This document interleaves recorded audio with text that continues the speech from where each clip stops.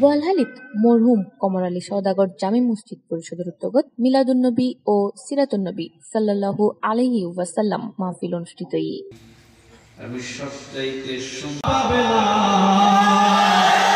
শনিবার ডিসেম্বরের বারো তারিখ রাতব্যাপী এই মাহফিল অনুষ্ঠিত হয়। আলহাজ জাকের হোসেনের সভাপতিত্ব ও মোহাম্মদ মহিউদ্দিনের পরিচালনায় প্রধান অতিথি আছিল আন্তর্জাতিক খ্যাতি সম্পন্ন মুফাসির কোরআন মাওলানা মাহমুদুল হাসান। প্রধান মুফাসির আছিল মাওলানা মোহাম্মদ মোহসেন আল হুসাইনি।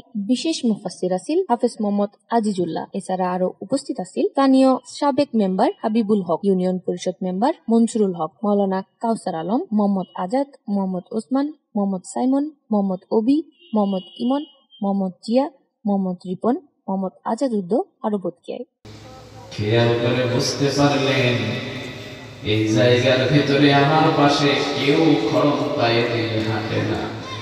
একজন আমার সাথে খরম পায়ে দিয়ে হাঁটছেন তিনি হলেন হসরতে বেলা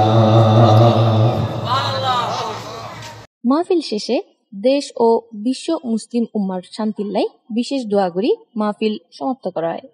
জিন্দগির গুণাগুলো তুমি মাফ করে দাও। DexNews C plus TV.